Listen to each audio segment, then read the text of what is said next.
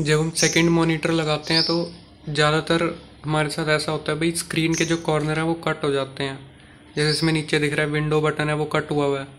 तो इसके लिए ये लैपटॉप से या कंप्यूटर से ठीक नहीं होता, ये टीवी की सेटिंग्स में जाके ठीक होता है।